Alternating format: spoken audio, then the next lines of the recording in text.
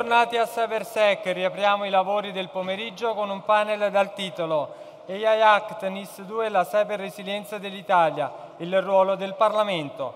E ne parliamo con Enzo Amic, Andrea Casu, Giulia Pastorella, prego, Commissione Trasporti, Poste e Telecomunicazioni e con Alessandro Colucci, Presidente Intergruppo parlamentare per la sicurezza informatica e tecnologica. Ben trovati, grazie per essere qui.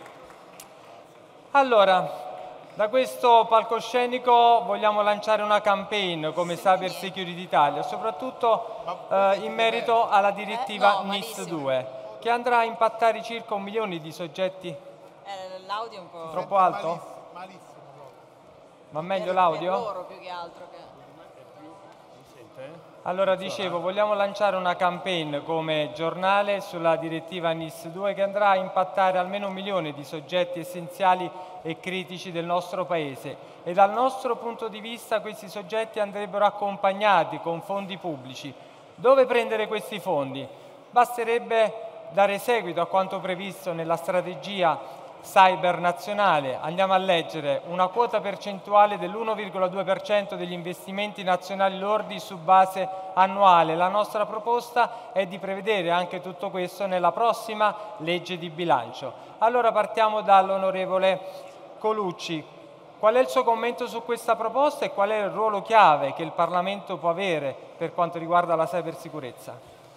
Ma intanto fin da ora mi scuso del tempo che riuscirò a dedicare a questo incontro, per cui ringrazio assolutamente dell'invito, ma in questi minuti è in corso il question time alla, Cari, alla Camera dei Deputati e io sono uno di quei parlamentari che deve illustrare il question time. Non è mia usanza arrivare in un luogo importante e autorevole come questo e poi abbandonarlo perché credo che sia importante il confronto fra noi parlamentari che viviamo all'interno della stessa Assemblea, delle commissioni che è il luogo per la centralità del Parlamento a cui tutti noi ci, ci richiamiamo, è veramente il luogo dove si possono fare cose importanti anche su questa materia e soprattutto sulla eh, sicurezza informatica e oramai possiamo dire anche sulla eh, cyber resilience, perché poi c'è anche un'evoluzione sulla capacità di far resistere sistemi complessi rispetto agli attacchi eh, che quotidianamente i nostri sistemi purtroppo subiscono. Ma proprio in questa fase in cui c'è poca normativa, il ruolo del Parlamento è veramente importante e centrale. Questa è la ragione per cui io ho voluto creare l'intergruppo sulla sicurezza informatica e tecnologica perché credo che la caratteristica dell'intergruppo, che è quella di mettere insieme parlamentari del, di Camera e Senato, quindi dei due rami del Parlamento, parliamo di 19 deputati e 3 senatori, in totale 22 parlamentari, e con l'avvicinarsi dei provvedimenti in aula devo dire che aumenta il numero. E il fatto che l'appartenenza dei parlamentari, ci sono qua alcuni colleghi che fanno parte dell'intergruppo, appartengono a forze politiche di maggioranza e di opposizione, credo che sia il vero valore per fare delle norme utili e durevoli perché poi non subiscono delle modifiche in ragione del cambio delle maggioranze. Questa è una delle funzioni dell'intergruppo e proprio in, queste, in questi giorni abbiamo avuto un primo pacchetto di provvedimenti sulla sicurezza informatica che sono in prima e in seconda commissione, Commissione Affari Costituzionali e Commissione Giustizia e attraverso l'attività dell'intergruppo e avvalendoci di tecnici validi perché poi ci vuole competenza, questo è un altro luogo utile e importante per creare rapporti per questo ringrazio ancora dell'invito, relazioni che possono servire per dare degli elementi di competenza e conoscenza che ci possono aiutare a legiferare nel modo migliore. E dentro l'intergruppo abbiamo esattamente un gruppo di tecnici che ci dà una mano. E allora cercheremo di dare il nostro contributo al provvedimento che è stato emanato dal Consiglio dei Ministri, non solo su questo pacchetto di sicurezza, ma adesso arriverà un pacchetto corposo di cyber security sulla quale lavoreremo con i colleghi ci dovremo avvalere di voi. Certamente il tema, per non fugare questa domanda, il tema delle risorse è importante. Il piano nazionale di ripresa e resilienza mette a disposizione delle risorse, sono 12 miliardi per questo comparto, l'obiezione che viene fatta non sono sufficienti. Ci rendiamo conto che 12 miliardi sono tanti, ma ci rendiamo conto che poteva essere anche meno. Allora, incoraggiare le aziende, io sono molto convinto del rapporto pubblico-privato, in, in aziende grandi e importanti che possono investire capitale coinvolgendo anche i piccoli in questo settore, io credo che sia la strada che il pubblico deve seguire, cioè incoraggiare gli investimenti, agevolarli, in modo tale che ci sia beneficio per le grandi che però obbligatoriamente devono coinvolgere i piccoli. Fondamentale essere bipartisan per questa importante sfida. Onorevole Casu, qual è il suo commento sulla nostra proposta e qual è il ruolo chiave, in questo caso della Camera dei Deputati, per la cybersicurezza nazionale? Io innanzitutto vi voglio ringraziare per questo invito e per questo appuntamento, ringrazio anche chi sta terminando il pranzo e presto si unirà a noi per il proseguo di questi lavori, perché credo che sia fondamentale acquisire anche nel nostro Paese una consapevolezza di sistema su quanto sia fondamentale in una nostra vita che ormai si eh, passa in un continuum di spazi fisici e digitali il concetto della sicurezza e il concetto della sicurezza negli spazi digitali. Da questo punto di vista io penso che sia molto chiaro e avete fatto bene a partire con la pagina 12 di quel documento, perché quello che c'è scritto, l'impegno di eh, una cifra importante, perché stiamo parlando comunque di una percentuale significativa degli investimenti pubblici, è un impegno che ha assunto il governo e che questo governo non ha cambiato, quindi è fondamentale che venga dato seguito. E io dico che noi dobbiamo dargli seguito anche e soprattutto perché quello che sta avvenendo, l'abbiamo ricordato anche in aula quando in occasione della NIS 2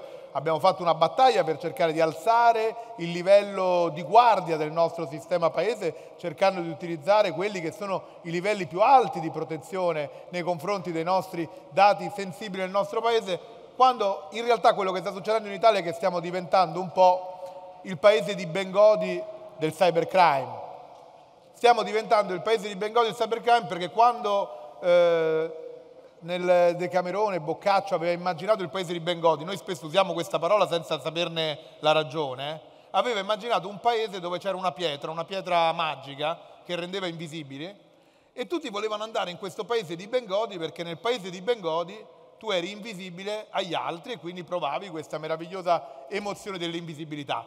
E se rispetto alla media mondiale dell'aumento degli attacchi. La percentuale a seconda delle rilevazioni dell'aumento degli attacchi in Italia è 6-7 volte maggiore. Se abbiamo il 98% delle imprese italiane che almeno una volta hanno sperimentato un attacco, se abbiamo il nostro sistema pubblico con i problemi che abbiamo, è perché la nostra incapacità di alzare collettivamente la guardia come sistema paese ci sta trasformando, quella era una burla, quella. Non esisteva il paese di Bengodi otto secoli fa, ma per il cybercrime il paese di Bengodi sta diventando l'Italia perché sanno di essere invisibili. Perché se io devo scegliere se attaccare un paese, un'economia, un'impresa e so che quel paese si protegge peggio di un altro paese, io sposto l'attacco verso l'Italia. E noi, nonostante il grandissimo lavoro che facciamo, dobbiamo essere in grado di fare due cose. Una è la regolamentazione, che è importante, è fondamentale, è comunitaria, bisogna fare passi avanti, ma servono le risorse, servono gli strumenti. Abbiamo approvato un ordine del giorno su proposta dell'opposizione, votato anche dalla maggioranza, per chiedere di alzare il livello da guardia dei nostri comuni, delle province, carta di identità elettronica, noi daremo le nostre impronte digitali, daremo tutti i dati sensibili di 60 milioni di persone. Non possiamo chiedere ai comuni di scegliere se fare le carte d'identità o proteggere i dati di quelle carte d'identità, perché alla fine con la fila di persone che chiedono la carta d'identità sceglieranno di fare le carte d'identità, ma se noi non diamo a questi comuni le risorse, gli strumenti per proteggere anche quei dati, tutto il mondo verrà a prendere i nostri dati e li utilizzerà. Da questo punto di vista serve veramente che quell'impegno che c'è nella strategia venga tradotto in realtà a partire dal prossimo documento di economia e finanza. E da questo punto di vista eventi come quello di oggi, che alzano il livello anche di un'assunzione di consapevolezza di sistema, non la singola impresa, non il singolo attore istituzionale, non la singola forza politica, non la singola forza sociale, ma un sistema paese che vuole difendersi meglio, sono fondamentali perché questo tema deve essere parte dell'agenda politica. Onorevole Amic, qual è il suo commento alla nostra proposta? Come accompagnare questi soggetti interessati dalla direttiva NIS?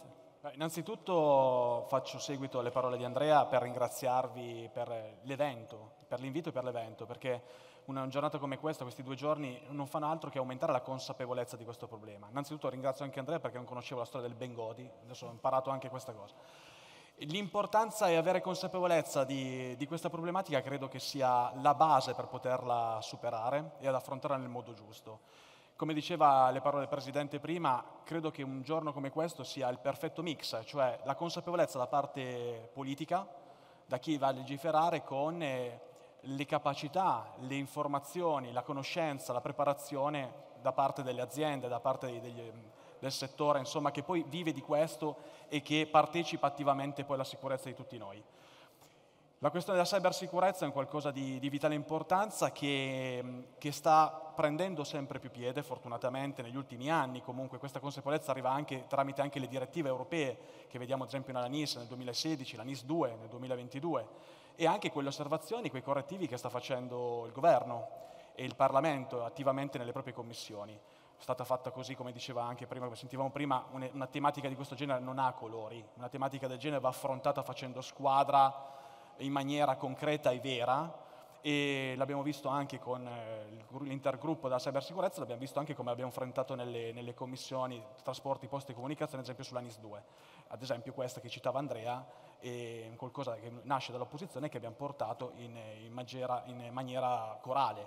Quindi credo che nasce tutto dal prendere atto finalmente che questo è un problema di vitale che bisogna affrontare in una maniera decisa, forte, e per un bene quotidiano di, di, tutti i giorni, perché la sicurezza, come sentivamo prima, è, un, è una tematica che a 360 gradi dall'istruzione, dalla sanità, dalla pubblica amministrazione, dalle aziende, è facilmente attaccabile perché ormai possiamo dire che internet è il sistema nervoso dell'intero pianeta e dobbiamo cercare di salvaguardarci dai pericoli che esso comporta tale, tale mondo. Onorevole Pastorella non, non, è solo una questione di risorse. Ora il mio collega ha cominciato dicendo eh, è arrivato poco in Parlamento di normativo. Io dico meno male perché l'Europa già negli ultimi anni ha preso una, veramente una velocità nel, nel, creare un quadro normativo, talvolta anche non necessariamente chiaro e sovrapposto.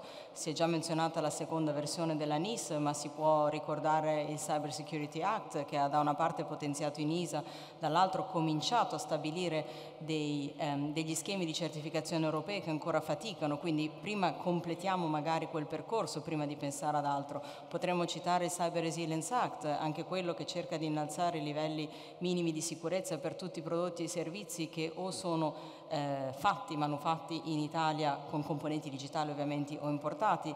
Eh, c'è il Cyber Solidarity Act che parla invece di tutto quello che è il coordinamento per le risposte agli, agli incidenti che molto spesso vanno oltre un paese. Quindi diciamo che a livello normativo bene che l'Italia stia un pochino ferma.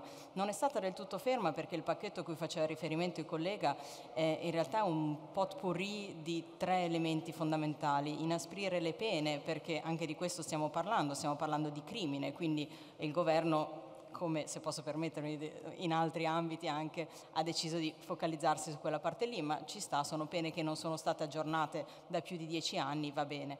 Dall'altra parte si occupa di codice degli appalti, importantissimo, abbiamo parlato di pubblica amministrazione, di sfide della cyber security, è bene che nelle gare di appalto si abbia un occhio di riguardo per gli aspetti legati alla cyber, che non sia solo il prezzo minimo, ma che sia forse anche dei criteri di qualità, degli standard e così via.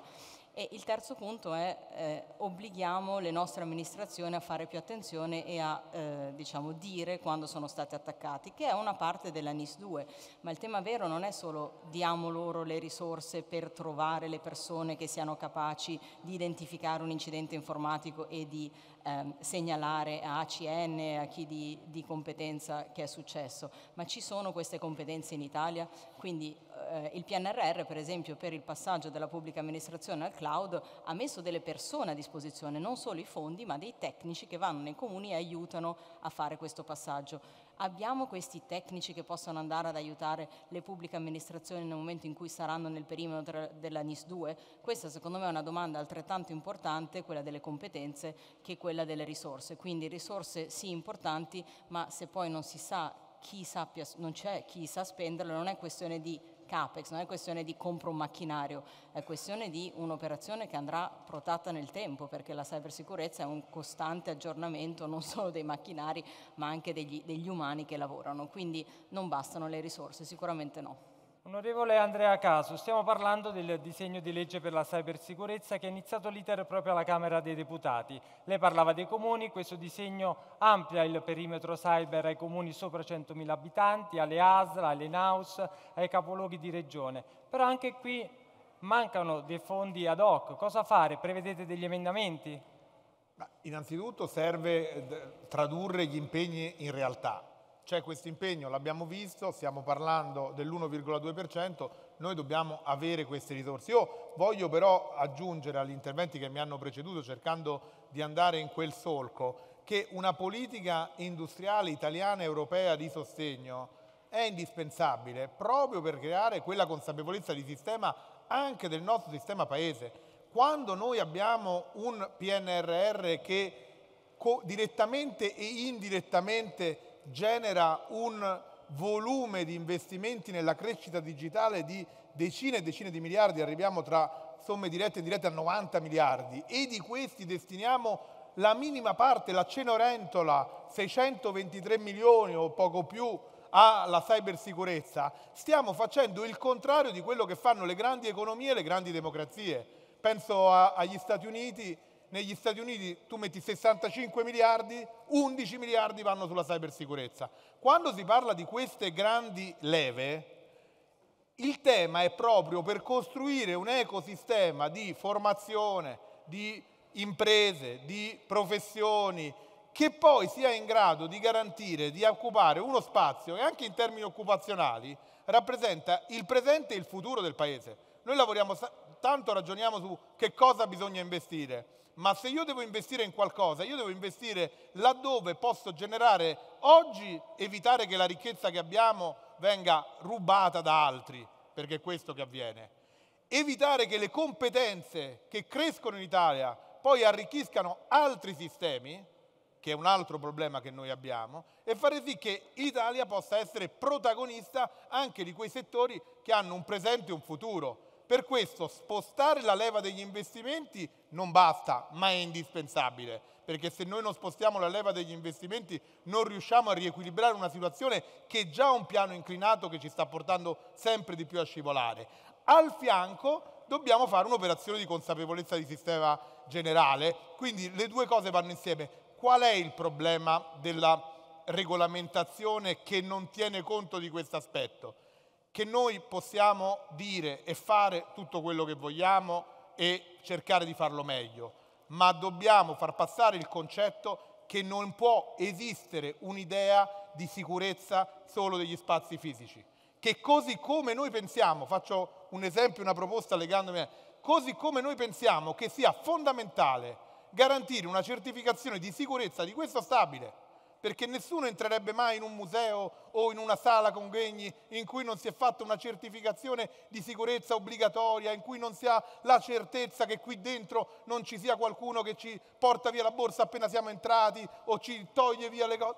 Questo te- stesso livello di impostazione di default deve essere garantita anche negli spazi digitali e anche in tutto quello che a livello pubblico, a livello privato avviene in questi spazi. È chiaro che è una rivoluzione, perché noi passiamo da una possibilità a una necessità, ma è una rivoluzione necessaria. Per questa ragione serve sia quello che dicevano i colleghi in termini di regolamentazione, ma serve anche di spostare drasticamente la leva degli investimenti. Ultima domanda per tutti, parliamo del regolamento europeo sull'intelligenza artificiale e qui voi avete anche un ruolo chiave perché va recepito e come è successo per il GDPR può essere recepito anche non in toto. Allora, eh, Colucci, qual è il suo giudizio su questo regolamento? Benifei ha detto che a maggio sarà approvato definitivamente. Allora, intanto bisogna evidenziare che l'intelligenza artificiale ha una funzione straordinaria rispetto ai tanti timori che spesso sentiamo raccontare e narrare e quindi c'è la grande occasione di creare un equilibrio tra l'utilizzo di sistemi informatici ormai così avanzati e si parla addirittura di machine learning, no? le macchine che a furia di svolgere alcune attività poi piano piano accrescono addirittura le loro funzioni e le loro capacità. E il ruolo dell'uomo, noi dobbiamo da questo punto di vista investire moltissimo sulla forza che ci danno la tecnologia, la cyber e la capacità di riuscire a limitarne l'attività secondo le esigenze del, del, dell'umanità. Da questo punto di vista il tema della formazione io credo che sia molto importante, perché intanto avere consapevolezza di cosa sono i nuovi strumenti. Oramai la cyber security non è più qualcosa di così raro da individuare nella nostra società, è il quotidiano, ci confrontiamo quotidianamente, quindi tutte le generazioni che vivono nel nostro paese devono sapere esattamente cosa hanno in mano e contestualmente dobbiamo avere quelle competenze che il legislatore deve garantire anche negli ambiti della formazione. Quante centinaia di migliaia di posti di lavoro sono sul mercato disponibili in questo settore, in questo ambito? La possibilità di avere alte specialità, grandi professionisti, che speriamo e dobbiamo evitare che vadano poi una volta formati all'estero, ma poi abbiamo bisogno anche una parte operativa all'interno delle aziende che applichi le strategie, che, applichi, che applicano i grandi, i grandi progetti. E allora all'interno dell'intelligenza artificiale, che molti guardano con preoccupazione, perderemo posti di lavoro, chissà cosa succederà, quello che faccio oggi lo farà la macchina domani. Parte di questo può essere anche vero, ma bisogna comunque indirizzarlo verso qualcosa di utile, produttivo, riconvertire quei lavori che inevitabilmente perderemo. Non è limitando una grande occasione, una grande opportunità che si fa del bene a quella forza lavoro, ma bisogna capire che bisogna riconvertire e oltre a pensare all'utilizzo dobbiamo esattamente intervenire su quel tema della formazione sulla consapevolezza, della formazione sulle grandi, grandi specialità e della formazione su chi all'interno delle grandi e delle piccole aziende possa essere in grado di mettere mano. Io vorrei chiedere ai presenti quanta necessità hanno di risorse umane e quanto è difficile trovare competenza in questo ambito. Vedo dei cenni di affermazione. Allora non si può ragionare sul tema dell'intelligenza artificiale e sul suo utilizzo se non si mette a fianco anche il tema della formazione. Onorevole Pastorella, qual è il suo giudizio sul regolamento europeo sull'intelligenza artificiale, in attesa del testo finale, ma qualcosa già si conosce ampiamente? Se, se, ne conoscono tanti aspetti. A me quello che fin dall'inizio mi ha lasciato perplessa è la scelta di fare una lista di casi d'uso, eh, perché una lista di casi d'uso è molto limitante e si limita a quello che oggi conosciamo di potenziali eh, usi che viene fatto. Quindi io avrei preso più un approccio eh, diciamo, basato su dei principi o su dei casi d'uso più generici. Invece si è scelto questa, questa sorta di lista per dividere sui vari, ehm, ovviamente le varie scale di rischio, ehm, che secondo me potrebbe essere limitante, potrebbe voler dire che alla prossima revisione si dovrà cambiare atteggiamento, ma non lo so. Eh, d'altra parte, quindi, eh, questa è la parte metodologica che mi ha lasciato perplessa, eh, nella battaglia tra Consiglio e Parlamento io devo dire che ero abbastanza più dalla parte del Consiglio sul timore eh, non solo per la, la restrizione nell'utilizzo dell'intelligenza artificiale da parte dei governi e della polizia, per carità tutti siamo d'accordo sui valori europei, però anche la polizia e il governo hanno il, il loro mestiere da fare, ehm, e anche sull'idea che ci fossero davvero, ci sono davvero degli obblighi, penso in particolare particolare ovviamente ai casi rischio eh, di certificazione di parte terze, di trasparenza, eccetera, che rischia di eh, avere un costo molto molto grande per le nostre imprese. Quindi benissimo che l'Europa sia stata la prima eh, a livello mondiale a prendere questa iniziativa e che sia un'iniziativa però che guarda a un lato della medaglia, che è il lato diciamo, etico, il lato di che cosa si può fare o non si può fare, sotto quali condizioni il converso della medaglia però è il lato invece di, di sviluppo, di industria, di aziende Ecco, molto spesso viene citato a sproposito l'AI Act come se si occupasse di sviluppo di intelligenza, avrà un impatto sullo sviluppo dell'intelligenza artificiale europeo, ma non si occupa invece di quella parte importante che è come investire, come permettere alle piccole e medie imprese di capire questa tecnologia e adottarla, eh, come cresce, accrescere le competenze che sono presenti sul territorio europeo. In questo senso l'Unione Europea è molto limitata nella sua ricerca per la tecnologia e la sovranità digitale. Avete visto quanto timido è stato l'approccio a una materia così critica come i CHIPS, per cui il CHIPS Act europeo impallidisce rispetto a quello eh, equivalente diciamo, americano-cinese, eh, idem sull'intelligenza artificiale se continuiamo a demandare 27 Stati membri investimenti che invece andrebbero, su cui andrebbe fatto un pool perché si parla di, di cifre anche di infrastrutture molto molto importanti, secondo me questo sarebbe un atteggiamento più strategico se davvero vogliamo ambire alla sovranità digitale, che citava anche il documento, qua si pensava a livello nazionale, io penso che ormai dovremmo davvero ragionare sempre solo a livello europeo in tutto quello che facciamo, non solo di normativo, ma anche a livello di investimenti e di strategia industriale. Onorevole Colucci, so che lei ha il question time, la salutiamo, grazie per essere stato qui al Cybersec. Grazie. Scusami. Ultima domanda all'onorevole Amic e poi vorrei chiedere a voi solo due domande per questo panel. Iniziate... Con, eh, Può concludere allora sul regolamento europeo. Eh, inerente al regolamento europeo, inerente sempre stiamo parlando dell'intelligenza artificiale e come mh, abbiamo sentito è una grande possibilità e come tutte le grandi possibilità va, può diventare, se non eh, si va a legiferare nel modo giusto dando dei paletti, delle regole, diventare anche un pericolo. L'intelligenza artificiale è un, è un, qualcosa che adesso stiamo affrontando forse, come dicevamo, un po' rilento perché abbiamo affrontato la questione etica, dobbiamo metterla a terra con la questione tecnica. E non è facile. Questo, va, questa LIA Act va di pari passo con NIS 2, ci sono molte voci che sono state prese che vanno in maniera parallela, quali ad esempio andare a mettere una classificazione su dove può essere affrontata e dove può essere e con che tipologia e di approccio ai vari livelli, ad esempio quelli inammissibili, quelli ad esempio dove ci sono dei programmi a livello subliminali non può essere utilizzata, mentre ci sono altri livelli, quali ad esempio il, la pubblica amministrazione, cioè un, un, dove si toccano determinate tematiche inerenti di pubblico dominio con particolari eh, diciamo, limitazioni è un, eh, è un, qualcosa che dobbiamo affrontare nel modo giusto, come dicevamo prima, un pochettino con la, con la, dinamica trasversale, al di là dei colori a livello partitico, come una grande possibilità che ci si presenta, ma consapevoli, ripeto, con eh, una problematica che se questa non si comporta nel modo giusto può diventare di, un problema che costa di più di quegli investimenti che non si vanno a fare adesso. Grazie, grazie mille e buon lavoro anche a lei. Allora, una domanda per l'onorevole Casu e una domanda per l'onorevole Pastorella, se ce ne sono. Dai, non siate timidi. Prego, prego Presidente. Microfono.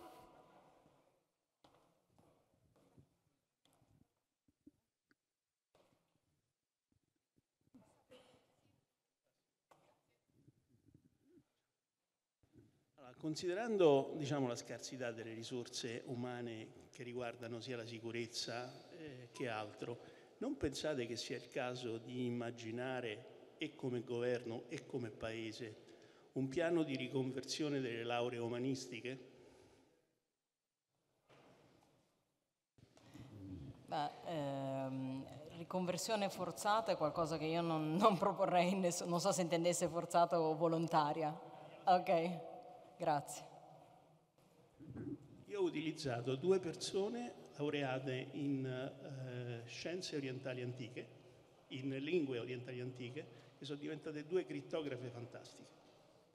Cioè, secondo me, se noi ragionassimo, perché i giovani ce l'abbiamo, ma ce ne abbiamo tanti disoccupati, probabilmente con dei test capiremmo abbastanza velocemente quelli che hanno un'attitudine e su quelli potremmo lavorare. Però è un piano da governo, non può essere un piano da azienda. Eh, sì e no, io sono laureata in filosofia e mi sono ritrovata a gestire la strategia globale di cyber security policy per un'azienda tech, quindi sono l'esempio calzante, ma perché? Perché l'azienda era grande e poteva permettersi di passare del tempo nel eh, dire, spiegarmi, nel formarmi e tutto fino a diventare eh, e ad arrivare a quel, quel luogo. Se sia lo Stato a doverlo fare, sicuramente lo Stato già mette a disposizione attraverso le sue università questo genere di corsi, quindi la domanda è come incentivare queste persone alla potenziale riconversione. E non so se sia una questione davvero di risorse perché già questi profili sono altamente, ben, cioè molto ben pagati, certo non ben pagati rispetto all'estero, io ho scritto un libro sui cervelli in fuga, sappiamo tutti il divario di salario tra gli ingegneri eh, quindi la domanda è come, come, incentivarle di più e come far capire che, eh, che, c'è bisogno di quelle figure. Io credo che la consapevolezza ci sia, magari manca, manca però la, la, la, capacità di incanalare e quindi di far capire che questa domanda esiste, eh, per cui è una, è una buona idea, ma siccome noi abbiamo un tessuto di piccole, anzi micro imprese che non possono farle da sole, in effetti bisognerebbe eh, che ci fossero altri canali. Quindi la mia risposta è potenzialmente sì, ripeto, per me ha funzionato benissimo, eh, però io ho avuto fortuna perché sono finita in una grande azienda e queste scarseggiano in Italia, per cui come farlo? Bella domanda. Mi permetto di segnalare, ma questo è un mio punto di vista, poi su questo tema sono temi grandi, ognuno ha la sua posizione. Secondo me più che il tema della riconversione, il vero problema limite che dobbiamo affrontare è quello che noi abbiamo bisogno di un percorso di formazione che sia permanente e accompagni tutta la vita delle persone.